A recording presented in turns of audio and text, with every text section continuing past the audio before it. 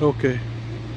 You can see that the barriers were just going down, but um, they didn't, they weren't down when the train approached from the left side. And even though there was, you know, the red light signal, people people were driving across the across the tracks when the train was approaching. And then you know the train stopped completely um, I think five meters ahead of the uh, crossing. He managed you know completely to stop. There was no problem.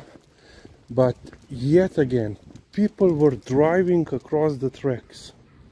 Kaj gledamo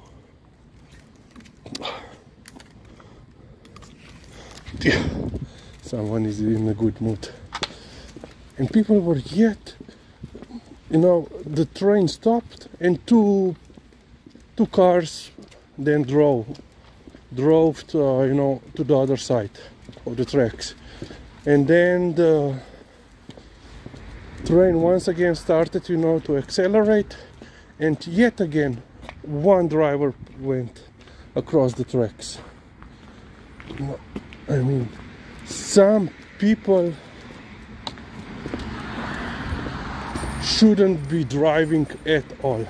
And then would be you know the railway's fault because one of the security measures uh, you know had fall not had fallen had malfunctioned. But you know the red was still on.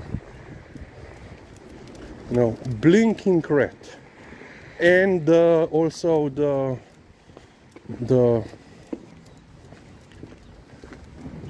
how is it called? It's not uh, it's not uh, a horn but you know that tick-tock uh, sound. So two of the three measures were security measures were active. But yet again stupid people are risking their life and lives of the others because they cannot wait for two minutes. I mean banned for life from all roads. But yet this will not happen